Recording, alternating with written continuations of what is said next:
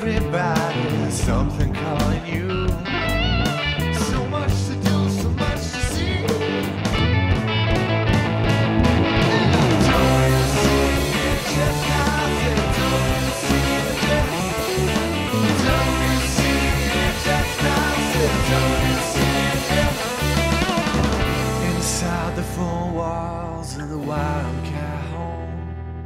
There's something cooking, something going right.